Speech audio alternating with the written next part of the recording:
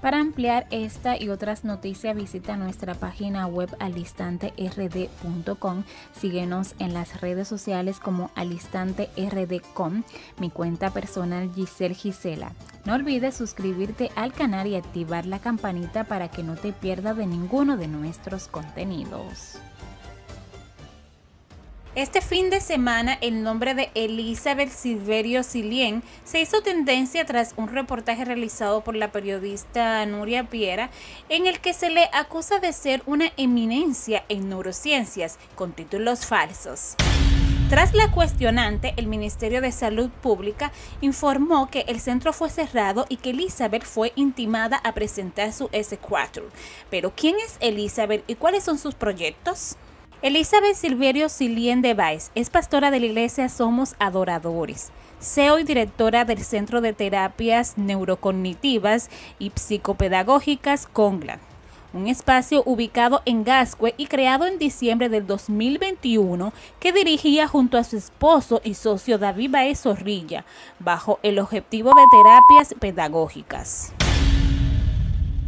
Algunos de los servicios ofrecidos por el centro eran terapias relacionadas con el lenguaje del habla y el aprendizaje, autismo y otros.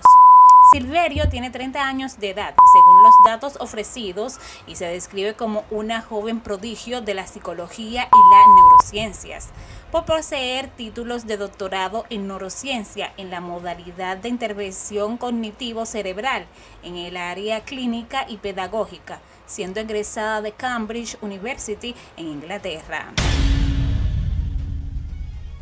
Además de esto, se indica que la pastora posee un máster en Administración de Gestión Académica y Creación de Maquetas Corporativas Educativas, realizado en el campus de West Indies University. Dice tener un PH en Neurocientífica Infantil y General de Especialidad en Intervención de Trastornos, Síndromes y Comorbilidad de Desarrollo.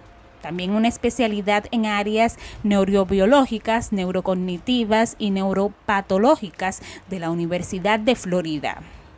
Los títulos no terminan ahí porque la pastora asegura que cuenta con un máster SD modelo de inclusión, mención educación especial en West Indies en el campus de Barbados. Elizabeth llegó a la República Dominicana a los 21 años desde Antigua y Barbuda, país del que son sus abuelos y en el que estudió, según sus declaraciones en la entrevista realizada por Nuria.